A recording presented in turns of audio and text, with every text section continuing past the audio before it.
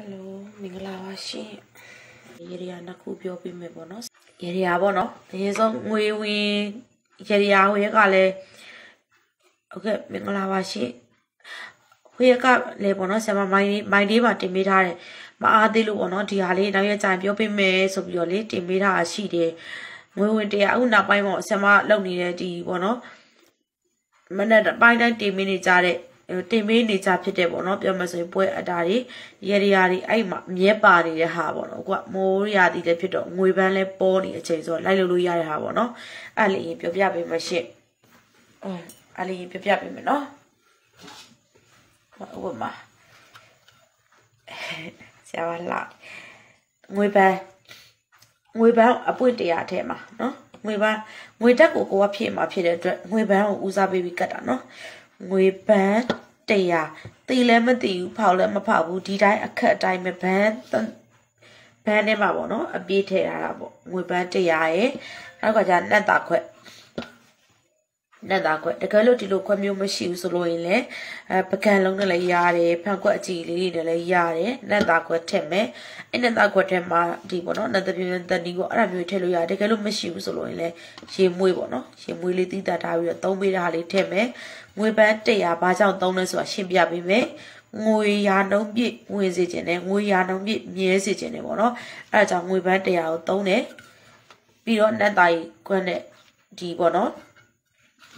အတူတူထားပြီးတော့ဖះเจ้าမှာတင်ထားပြီးရရှင်အဲ့ဒါကိုတင်တဲ့အခါမှာကိုကဒီတီးတန့်ဒီရေတွေကတခုတည်းပဲလုံမယ်ဟေ့ဆိုလို့ရင်ငွေဝင်ကားတာတွေနောက်တစ်ခါလက်ကော်လက်နှုတ်ကားတာတွေ အဲ့အရာကိုယူလို့ရတယ်အဲဒါမှမဟုတ်အမြဲတမ်းပဲပုံမှန်ဖျားဝေရဝေးစားတွေအမြဲလုံးနေကြသူဆိုလို့ရင်ဖျားကြောင့်မှမတည်ထားပြီးဒါလေးကိုလက်ခေါ်လို့ရတယ်နော်ဒါကကျတော့ကိုမရှိရဲ့ဟိုပြောမဆိုရင်လက်ပိတ်နေတဲ့ငွေကံပေါ့နော်အဲ့ဒါလေးတွေပြန်ပြီးပွင့်လာစေလိမ့်မယ်ရှင်တောင်ဆုံးပေါ့နော်ဖျားကိုပေါ့နော်ဒီမှုပြတဲ့ရက်တန်းနဲ့ဒီပေါ့နော်နတ်သားကြီး နတ်သားကြီးပေါ့နော်မျက်နှာတက်တော်ကြီးကတ်လူတဲ့အခါမှာဆိုရင်ကိုယ့်ရဲ့စိတ်ကိုလည်းကြည်လင်လန်းဆန်းစေတယ်။နောက်အခုတစ်ခါကျကိုယ့်ရဲ့လုပ်ငန်းခွင်မှာလည်းစိတ်အာရုံပေါ့နော်။ကြည်လင်စရာတွေနဲ့အမြဲတမ်းတူတူဖြတ်တန်းရတတ်တယ်။အဲဒါကတော့ဒါလေးကအပန်းလည်းမကြည့်ဘူး။လုပ်လို့ရဝင်ဝင်တရားတရားလေးလုပ်မယ်နော်။ဒါဘာတင်ထားလိုက်တော့တင်ထားလိုက်တာပဲဘာကြောင့်ဘာလုပ်တယ်ဆိုတာကိုမသိမှဆိုလို့ရှင်းပြပေးတာရာနှုံပြည့်မြဲစင်နဲ့ရာနှုံပြည့်ကိုရှိမှာငွေကံပွင့်စေခြင်းတဲ့အတွက် လုပ်တဲ့အစီရေရေတရားလေးပါရှင့်အဲ့ဒီလည်းလုပ်လို့ရတယ်နောက်တစ်ခုအရာဝတ်သမားတွေပေါ့နော်အရာဝတ်သမားတွေဝတ်ဆိုင်နေပဲဖြစ်ဖြစ်ဈေးဆိုင်နေပဲဖြစ်ဖြစ်နောက်တစ်ခုကကြတော့ဒီပေါ့နော်လုပ်ငန်းကြီးကြီးလုပ်နေတဲ့သူတွေပဲဖြစ်ဖြစ်အရန်ကြီးရှုပ်ချုပ်ပွားတွေပေါ့နော်အရန်ကြီးဘာလုပ်ဘာလုပ်ဘာလုပ်အာဟိုအများကြီးဘယ်ဟာတွေဘယ်အကိုက်ကတ်တွေဘာတွေညာတွေဆိုတာထက်လကူရိုးရှင်းပြီးတယောက်တည်းဟာပြောပေးမယ်နော်ဒါကစတော့ ပလင်းအလုံးပလင်းအကြည်အသက်ပေါ့နော်အဲ့ထဲမှာမိုင်လိုပလင်းပြပြဟောလိပလင်းပြပြရတယ်အဲ့ထဲမှာပယုံလုံးကိုလုံးထည့်မယ်ထည့်ပြီးွားတဲ့ခါကျရင်မနေ့တိုင်းမနေ့တိုင်းမှာကိုယ့်ရဲ့အရာဝယ်ပစ္စည်းတွေနားမှာ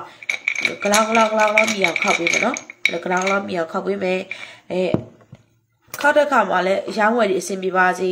နော် အဲလက်လက်ပါတွေအဆင်ပြေပါစေကိုယ့်ရဲ့အယောင်ဝယ်တွေပေါ့နော်ပွင့်လန်းပါစေအဲ့လိုမျိုးဆူတောင်းလို့ရတကယ်လို့ပယုံလုံးကြေသွားတယ်ဆိုလို့ရင်လည်းအသက်လဲလို့ရရနော်ပယုံလုံးကြေသွားဆိုရင်လည်းအသက်လဲပြီးလုပ်လို့ရတယ်